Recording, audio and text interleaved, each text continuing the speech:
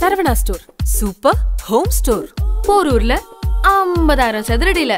Super Saravana ஸ்டோர்ஸ்க்கு நேர் எதிரில cot sofa dining imported furniture fridge AC washing machine அழகழகா decor items TV mobile Saravana ஸ்டோர்ஸின் super home store இப்போது போரூரில்.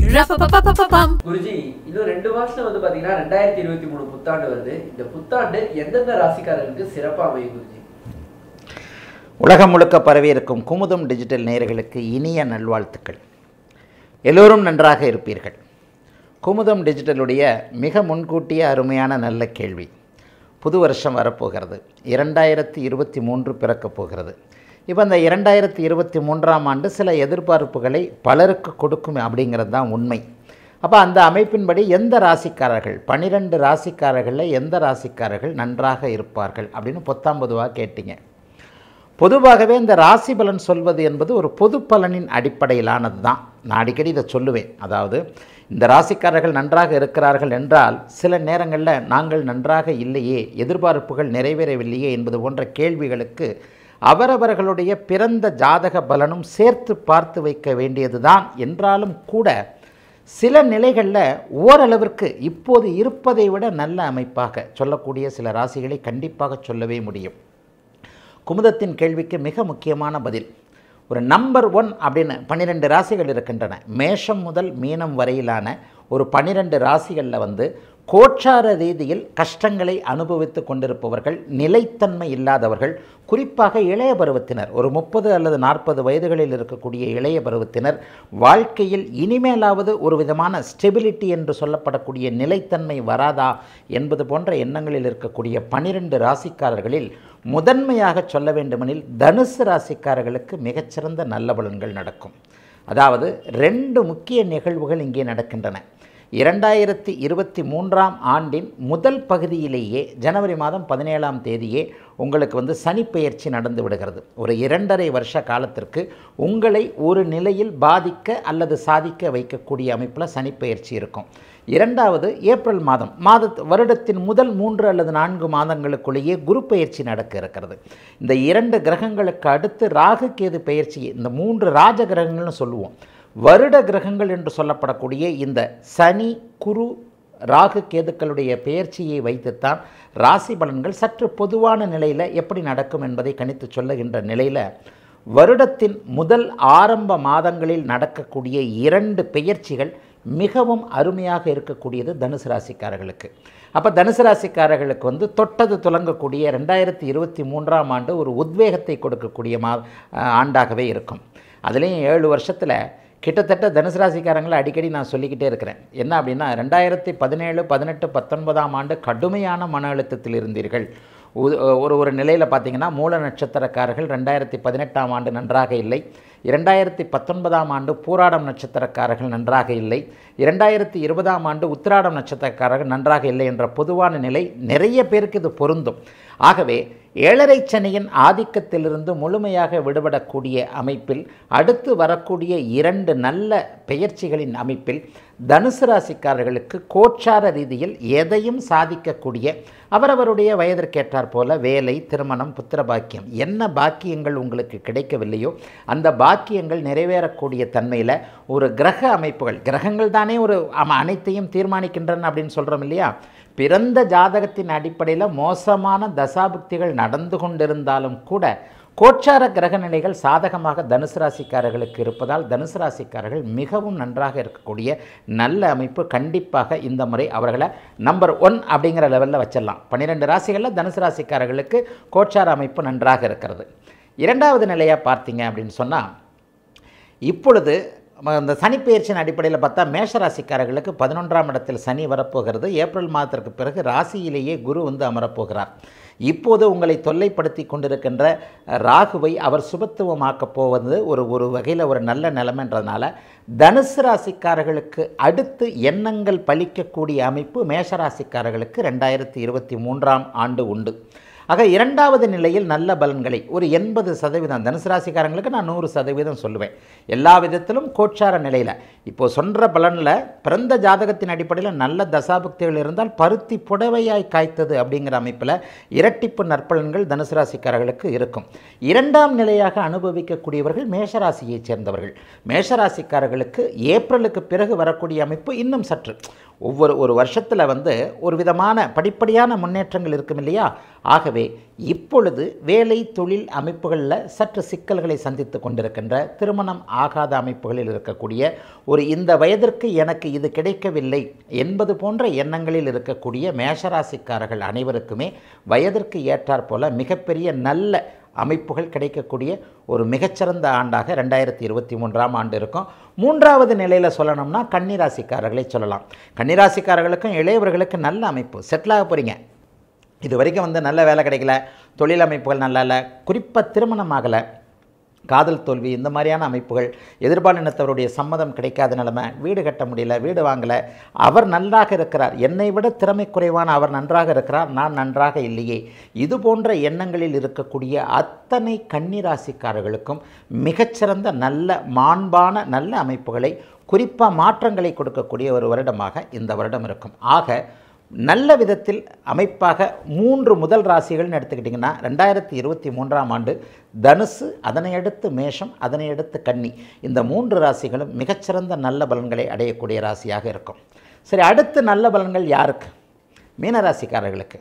என்னடா ஏழரை சென்னை ஆரம்பிக்க போகிறதே அப்படின்னு சொல்லிட்டு ரெண்டாயிரத்தி இருபத்தி மூன்றாம் ஆண்டு நல்லா இருக்காதோ அப்படின்னு நினச்சிங்கன்னா நிச்சயமாக கிடையாது. ஏழரை சனியில் பாத அதாவது விரயச்சனி என்று சொல்லப்படக்கூடிய ஆரம்ப காலகட்டங்களில் பணத்தை கொடுக்கின்ற அமைப்பு ஏப்ரல் மாதத்துக்கு மேலே சில மாதங்கள்லேயே இரண்டாம் இடத்தில் குரு பகவான் வருகிறார். இந்த அமைப்பு உங்களுக்கு பணத்தை தரும். பணம் இருந்தாலே பாதி ப பிரச்சனைகள் தீந்துரும் இல்லையா? ஏழரை சனியின் நடுப்பகுதியில் தான் சோதனைகள் வரும். ஆகவே இந்த அமைப்பின்படி பார்த்தீர்களேயானால் நான்காவதாக நல்ல பலன்களை பெறக்கூடிய ராசி மீனராசியாக இருக்கும். மீனராசிக்காரர்களுக்கு ராசிநாதன் தற்போது ராசியில் இருக்கின்ற நிலைமை இரண்டாம் இடத்திலிருந்து பணவரவை தடுத்து கொண்டிருக்கின்ற ராகுவை சில மாதங்களிலேயே வருடத்தின் இரண்டாயிரத்தி இருபத்தி மூன்றாம் ஆண்டின் முற்பகுதியில் ராகு குரு அந்த இணைவு ஏற்பட போகிறது. ஒரு மிகப்பெரிய நல்ல பலன்களை தரும். பண நிலையில் நல்லாவே இருக்கும். விரயச்சனியாக வருகிறவர் என்ன பண்ணுவார்னா பணத்தை கொடுத்து நம்மளை வந்து அந்த செலவு பண்ண வச்சு ஒரு சில நிலைகளில் மன அழுத்தத்தை கொடுப்பார்.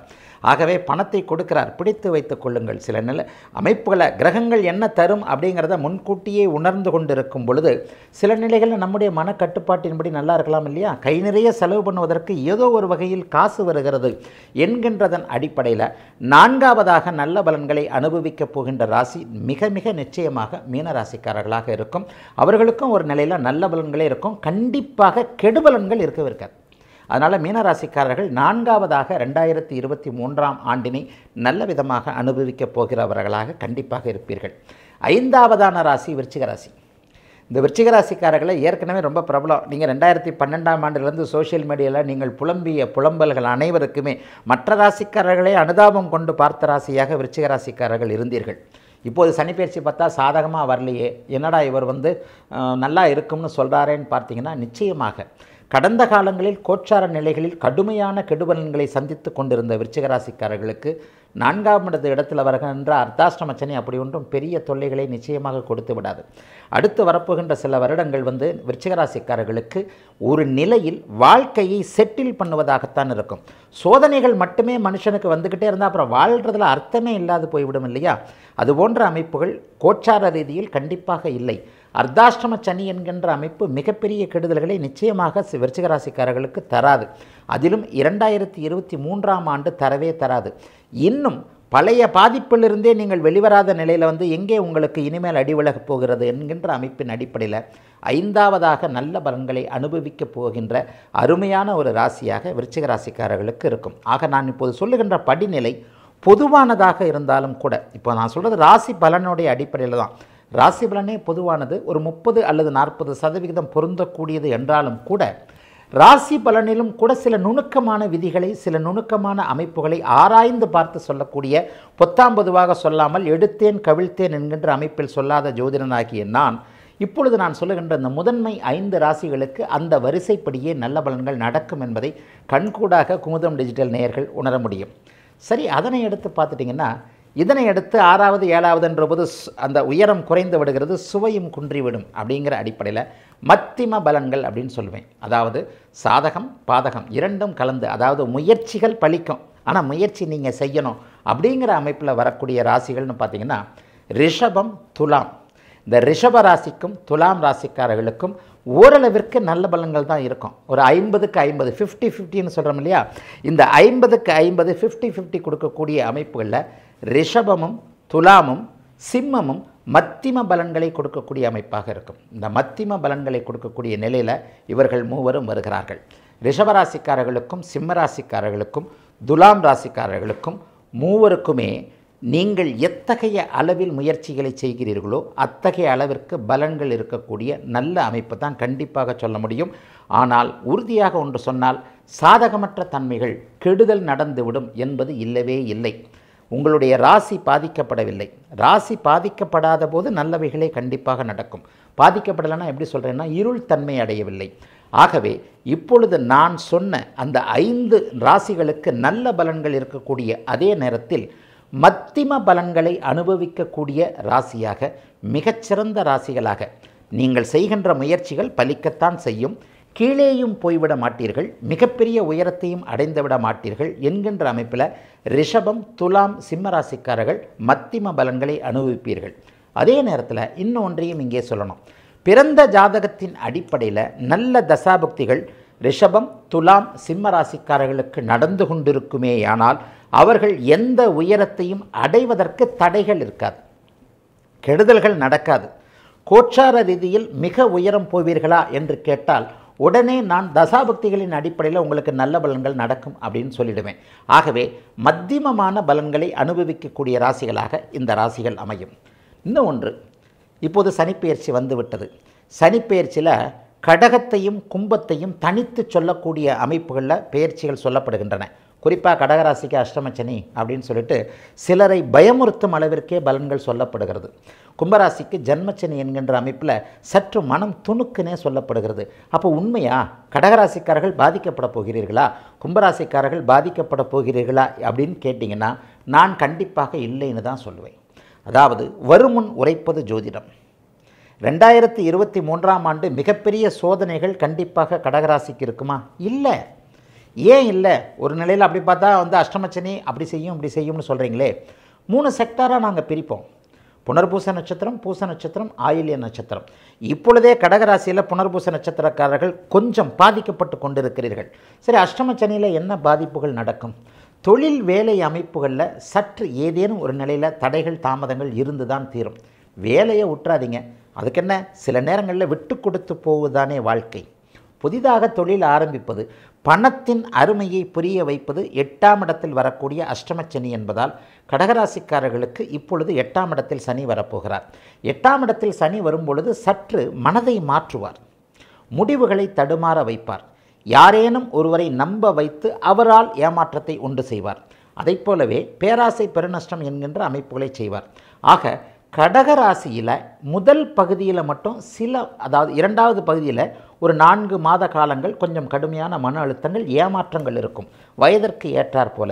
ஆகவே கடகராசிக்காரர்கள் அஷ்டமச்சனியின் ஆதிக்கம் இருக்கும் என்பதை உணர்ந்து பண விவகாரத்தில் யாரையும் நம்பாமல் ஒருத்தர்கிட்ட பணம் கொடுக்குறேன்.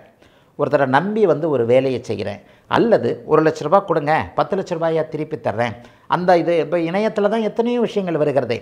முகம் பார்க்காமல் யாரையும் இணைய அமைப்புகளில் இவரை பார்க்காம அவரை பார்க்காம ஃபேஸ்புக்கில் பார்த்தேன் இன்டர்நெட்டில் பார்த்தேன் யூடியூப்பில் பார்த்தேன்னு சொல்லிட்டு யாரையும் நம்பி காசு கொடுக்காதீங்க.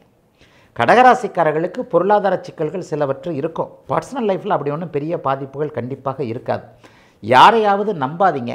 உங்களுடைய கையே உங்களுக்கு உதவி என்கின்ற அமைப்பில் கொஞ்சம் வேலை அமைப்புகளில் கடுமையை காட்டினாலும் கூட பொறுத்து போவது வந்து வரும் வர்றதுக்கு முன்னாடி சில விஷயங்களை நம்ம உணர்ந்துக்கிட்டோம்னு சொன்னால் அதில் ஒன்றும் பெரிய பாதிப்புகள் இருக்காது. ஆகவே கடகராசிக்காரர்களுக்கு ரெண்டாயிரத்தி இருபத்தி நான்காம் ஆண்டு சில விஷயங்களில் சோதனைகள் இருக்கும் என்றாலும் கூட இரண்டாயிரத்தி இருபத்தி மூன்றாம் ஆண்டு அதற்கான முன்னேற்பாடுகளை மட்டுமே தரும் அப்படிங்கிறதுனால டுவெண்ட்டி டுவெண்ட்டி த்ரீயை உங்களால் சமாளிக்க முடியும். புனர்பூசம் நட்சத்திரக்காரர்கள் இப்போவே பாதிக்கப்பட்டு கொண்டிருக்கிறீர்கள். அவர்கள் வந்து அந்த அஷ்டமச்சனையின் பாதிப்புகளை இந்த ரெண்டாயிரத்தி இருபத்தி மூன்றாம் ஆண்டு உணருவீர்கள். பூசம் நட்சத்திரக்காரங்க ரெண்டாயிரத்தி இருபத்தி நான்காம் ஆண்டு உணர உணரவுங்க. அதனால் இதுலேயும் ஒரு மூணு செக்டராக பிரித்து தான் சொல்லணும். பண விஷயத்தில் கவனமாக இருங்க. யாரையும் நம்பி தொழில் ஆரம்பிக்க வேண்டாம். இருக்கிற வேலையை விட்டுற வேண்டாம்.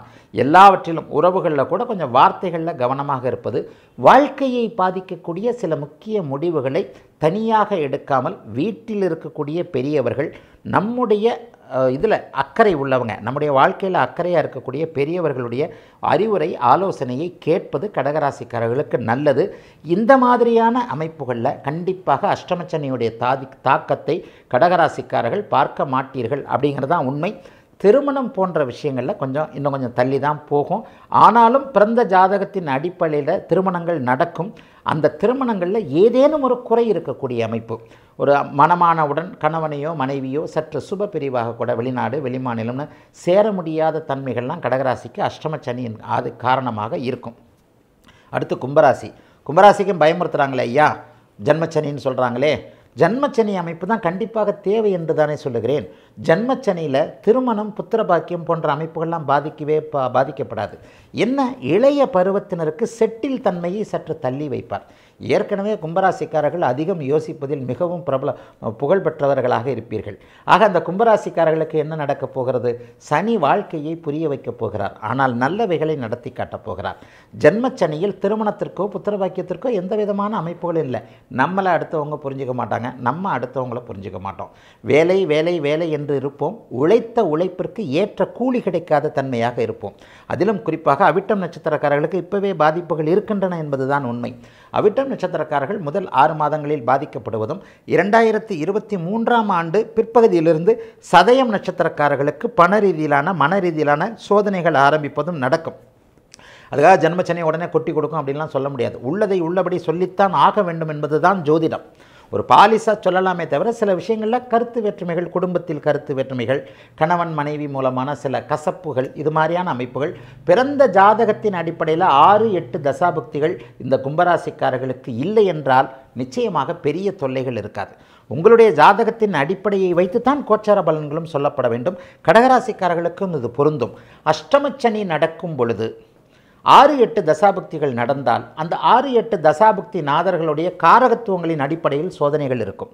ஜென்மச்சனியும் அப்படித்தான். உங்களுக்கு என்ன தசை நடக்கிறது அது எந்த ஆதிபத்திய அமைப்புகளில் நடக்கிறது என்பதை பொறுத்து ஜென்மச்சனி அமைப்புகளில் சுப விஷயங்கள் நடந்தாலும் கூட லைஃப்பில் செட்டில் ஆகாமல் இருக்கிறது உழைத்த உழைப்பிற்கு கூலி கிடைக்காமல் இருக்கிறது வேலையில் திருப்தி இல்லாமல் இருக்கிறது குடும்பத்தில் நம்மளை அடுத்தவங்க புரிஞ்சிக்காமல் இருக்கிறது.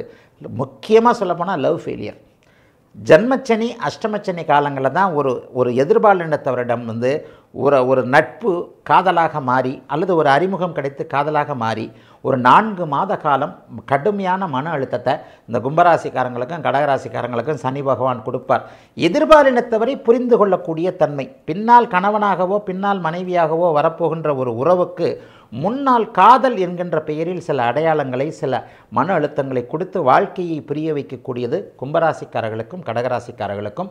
கும்பராசிக்காரர்களுக்கு சுப விஷயங்கள்லாம் தள்ளி போகாது. ஆகவே நிச்சயமாக உழைப்பிற்கு அதிபதிகளான கும்பராசிக்காரர்கள் இந்த ஜன்மச்சனி அமைப்பை மெதுவாக கடந்து விடவே செய்வீர்கள் அப்படிங்கிறதா உண்மை. இப்போ கிட்டத்தட்ட பத்து ராசி சொல்லிட்டேன். நிறைவாக ரொம்ப சஸ்பென்ஸாக இருக்கிறது மகரமும் மிதுனம் தான். உண்மையில் நான் போன வீடியோவில் குமுதம் டிஜிட்டலில் சொன்ன மாதிரி நல்லவைகள் எதுவுமே நமக்கு நடக்க வேண்டாம். கெடுதல்கள் மட்டும் நடக்காமல் இருந்தாலே போதும் இல்லையா? ஏற்கனவே கடந்த மூன்று ஆண்டு காலமாக கெடுதல்களை மட்டுமே அனுபவித்து கொண்டிருக்கின்ற ஜோதிடம் என்பது எவ்வளவு உண்மை எவ்வளவு பெரிய ஒரு விஞ்ஞானம் என்பதை உலகத்திற்கு புரிய வைத்து கொண்டிருக்கின்ற மகர ராசிக்காரர்களும் மிதன ராசிக்காரர்களும் மற்ற பத்து ராசிக்காரர்களை விட நல்லா இருக்க போறீங்கன்றதான் உண்மை. இப்போது நான் சொன்ன தனுசு மேஷம் கன்னி என்பதை விட சோதனைகள் முடியப் போகின்றன கெடுதல்கள் விலகப் போகின்றன.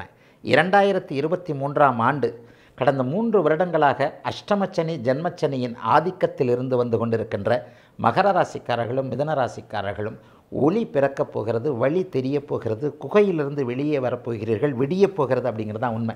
குறிப்பாக திருவோணம் நட்சத்திரக்காரர்களும் திருவாதிரை நட்சத்திரக்காரர்களும் புனர்பூச நட்சத்திரக்காரர்களும் மிதனத்தில் பிறந்த திருவாதிரை புனர்பூச நட்சத்திரக்காரர்கள் கடந்த இரண்டு வருடங்களாக படுகின்ற சோதனை ஜோதிடத்தை உண்மை என்று நிரூபிக்கும். அதைப் போலவே இரண்டாயிரத்தி இருபத்தி ஓராம் ஆண்டிலிருந்து எதை சொல்வது என்று கடுமையான யாரிடம் எங்கே எதை சொல்வது என்று கூட திக்கு தெரியாத காட்டில் அலைந்து கொண்டிருக்கின்ற மகர ராசியைச் சேர்ந்தவர்கள் அதிலும் குறிப்பாக திருவோணம் நட்சத்திரத்தில் பிறந்தவர்களுக்கு இது மிக மேன்மையாக இருக்கும். அதாவது இதுவரைக்கும் சொன்ன பத்து ராசிக்காரர்களுக்கு நல்லது நடக்கிறதோ இல்லையோ போ ஆனால் கெட்டது நிற்கப் போகின்ற ஒரு அமைப்பு மகர ராசிக்காரர்களுக்கும் மிதன ராசிக்காரர்களுக்கும் உறுதியாக உண்டு. கடந்த மூணு வருஷமாக இப்போது நான் பத்து ராசிக்காரர்களுக்கு சொன்னேன் எதிர்காலத்தை சொன்னேன். இந்த எதிர்காலம் நடக்கும் நடக்காது என்பது நடந்ததற்கு பிறகு நிரூபிக்கப்படக்கூடியது. ஆனால் மகர ராசிக்காரர்களுக்கும் மிதன ராசிக்காரர்களுக்கும் கடந்த காலத்தை பற்றி சொல்லுகிறேன். அதாவது கடந்த மூன்று ஆண்டுகளுக்கும் மேலாக நீங்கள் நன்றாக இல்லை. குறிப்பாக மிதன ராசிக்காரர்கள் ஜென்ம ராகு வந்த இரண்டாயிரத்தி பதினெட்டு பத்தொன்பது இருபதிலிருந்தே ஐந்து வருடங்களாக உங்களில் பெரும்பாலானோர் மிதன ராசிக்காரர்களில் பெரும்பகுதியினர் கடந்த ஐந்து வருடங்களாகவே நன்றாக இல்லை. காரணம் ஜென்ம ராகு அதனை அடுத்து அஷ்டமச்சனி என்று ஒரு ஐந்து வருடங்களாக வாழ்க்கையே புரட்டி போடப்பட்டது. குறிப்பாக இரண்டாயிரத்தி இருபது இருபத்தி ஒன்று இருபத்தி ரெண்டாம் ஆண்டு வாய்விட்டு அழக்கூட சந்தர்ப்பங்கள் இல்லாத நிறைய அமைப்புகள் மிதன ராசிக்காரர்களுக்கு இருந்தன. தொண்ணூறு சதவிகித மிதன ராசிக்காரர்களும் தொண்ணூறு சதவிகித மகர ராசிக்காரர்களும் வாழ்க்கையில் ஏன் இப்படி நடக்கிறது என்பதற்கான விடை தெரியாத கேள்விகள் உங்கள் மனதில் இருந்து வந்தன என்பதுதான் உண்மை. அவர்களை போன்ற அத்தனை பேருக்கும் மீதி பத்து பர்சன்ட் கொடுத்து வச்சுவோங்க இந்த இந்த பிறந்த ஜாதக அடிப்படையில் ஒரு பெரிய சோதனைகளை உணராமல் ஒரு வாழ்க்கை ஓரளவுக்கு நல்லா தான் போகுது. சாப்பாடு துணிமணிக்கு பஞ்சம் இல்லை வேலை கொஞ்சம் மன அழுத்தத்தில் இருந்தாலும் வேலை இருக்கிறது. சில பேர் நிறைய பேருக்கு வேலையே இல்லையே. இது போன்ற அமைப்புகளில் மகர ராசிக்காரர்களும் மிதுன ராசிக்காரர்களும் சோதனைகள் தீரப்போகின்றன கெடுதல்கள் நிற்கப் போகின்றன என்பதன் அடிப்படையில் மற்ற பத்து ராசிக்காரர்களை விட மகரமும் மிதனமுமே மிகப்பெரிய கொடு கொடுத்து வைத்தனவர்கள் கொடுப்பினை உள்ளவர்கள்னே சொல்லலாம் வாழ்க்கை தெரியப் போகிறது வழி தெரியப் போகிறது வழி காட்டுபவர் வரப்போகிறார். எது தடங்கலாக இருந்ததோ அது கிடைக்கப் போகிறது. யார் அடித்தாரோ அவரே அணைக்கப் போகிறார். பணம் வரப்போகிறது மனம் நிறைவடைய போகிறது என்பதே மகர ராசிக்காரர்களுக்கும் மிதன ராசிக்காரர்களுக்கும் இரண்டாயிரத்தி இருபத்தி மூன்றாம் ஆண்டு சொல்லுகின்ற செய்தியாக இருக்கும். தாயம் தாயம் தாயம். சூப்பரா இருக்கு. எங்க வாங்கின? சூப்பர் தான் சித்தி. சரவணா ஸ்டோர் சூப்பர் ஜுவல்லரி புருஷவாக்கமா. அப்ப போரூரா. முழுசா சொல்லணும்னா மூணு வரணும். மூணு மூணு மூணு. மூணு. போரூர் பொருசவாக்கம். மூணாவதா தாய் வீடு. உங்க கடை ரங்கநாதன் ஸ்ட்ரீட் சூப்பர் சரவணாவா? அங்கதான். மூணாவதா super Saravana store super jewellery விதவிதமா நகை. Balama? Saravana Stores Super Jewelry.